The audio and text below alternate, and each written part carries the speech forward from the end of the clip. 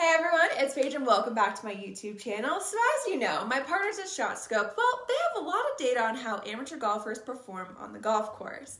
From their database of over, ready for this, 200 million shots, they have identified exactly what you need to do in order to break 90 on the course. So ShotScope, they gather all of this data from their performance tracking products, such as the Pro LX Plus that I use, and their V3 watch. These tags, they screw onto your grip so you can record every single shot you hit and then analyze all the stats about your own game. So in this video, I'm going to take you through the four key steps that will help you break 90 and provide you with some tips on how to achieve this. And this will apply to breaking 100, 90, 80, 70, doesn't matter where you are in your golf journey, I'm here to help.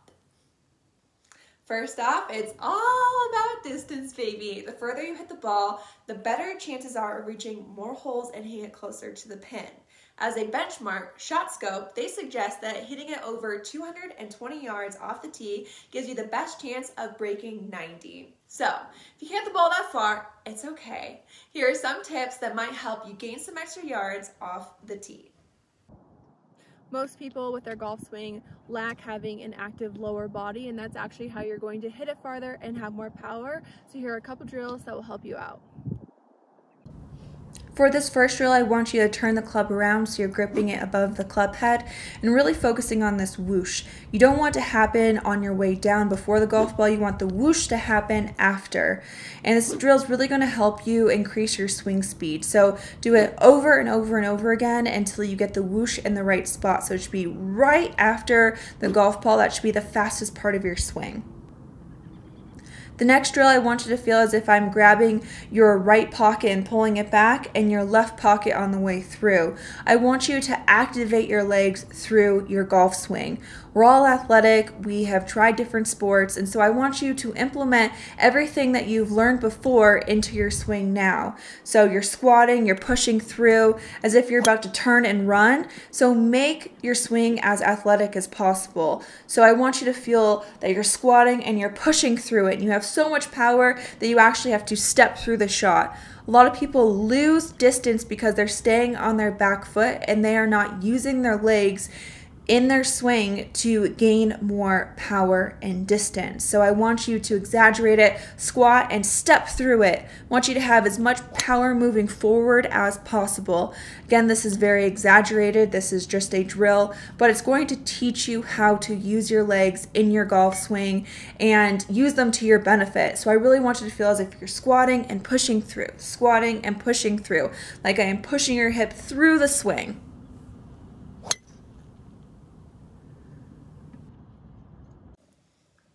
Second, improve how you play your par fives. So par fives offer a real chance to score, and typically those who don't break 90 average over six shots on par five. So if you want to get that score down, you need to start playing the par fives just a little bit better.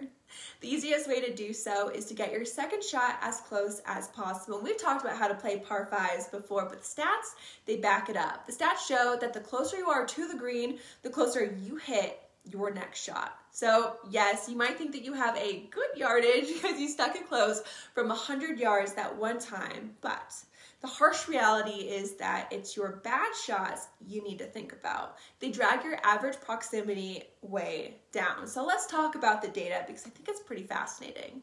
You can see the difference in a 20 handicap proximity from 25 to 50 yards and 50 to 75 yards. So 25 to 50 yards equals 29 feet average proximity. 50 to 75 yards equals 48 feet average proximity. So play the percentages. A bad shot from a shorter distance is probably going to be closer than a bad shot from further away. Since you'll be hitting it closer on par fives, here is a couple tips to help you hit some crispy wedge shots.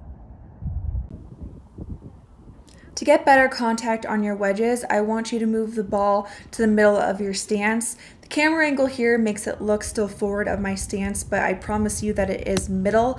When people have it too far up in their stance, they think that they're gonna hit it higher. You actually start hitting it fat or a little bit thin when you're lifting up. So to really compress it, and that's how you get your spin is by compressing the golf ball. You're gonna move it just a little bit farther back into your stance. I want you then to grip down to have more control and hit more of a half swing, not a full swing. It's all about flighting the golf ball, which means that you want to get it a little bit lower, and that's how you're going to get those crispy, spinny wedge shots. So move it a little farther back, set your weight forward, narrow stance, choke down, really have a controlled tight swing. That's how you get those really great wedge shots. Next, just stop three putting, right? So easy. I know eliminating three putts is probably just too much to ask, but currently golfers who don't break 90 three putt two to three times per round. Yeah, so ShotScope, they suggest that you try to reduce this just once around. Something that I'm working on because I am the queen of three putts. But how do you do this? I have actually shown you guys so many drills, but working on your pace putting before you play and also holding out short putts is really going to help you build that confidence to break 90. And honestly, this applies especially to breaking 100, to 90, to 80, and to 70.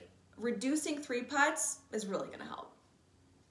And lastly, just hit more greens. it might sound cliche, but it is true. The biggest difference in good and bad scores often comes down to hitting more greens and regulation. Yes, of course, you can have an amazing chipping day. There's always a way to work your way around a golf course, but typically in order to break 90, you need to be hitting at least 20% of the greens, which is actually only four greens per round, which isn't that intimidating when you think about it. So I'm sure you can all manage that if you put your mind to it. So here's a couple tips to hit more greens.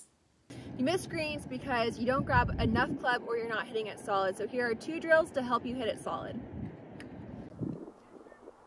This first drill is really going to help with your connection and staying in sync. So what you're going to do is stand on your left leg and all of your weight should be on your left leg.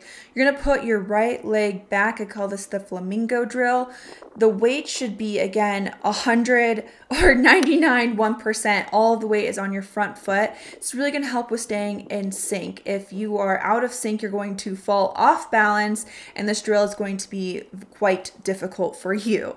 So again, then what you want to do is feel super connected, you're turning together, and that's going to help you hit solid shots. Next, if you are between clubs, I recommend that you take the longer club and swing a little bit easier. Most people try to take less club and hit as hard as they possibly can, but take the longer club and hit about 95%, and that will help you hit it a little bit more solid, and I'm sure you'll hit more greens.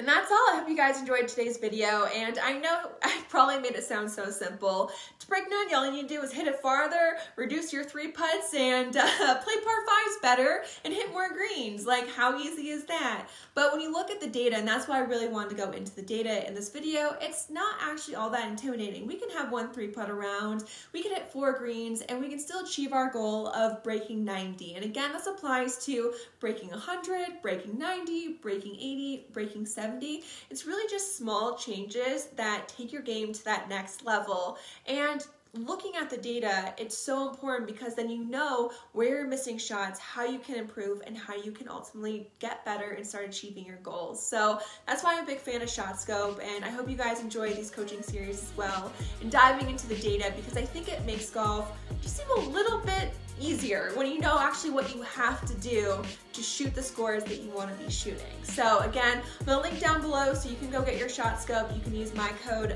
PAIGE for a discount and leave a comment, subscribe to my channel, like the video, and I will see you guys.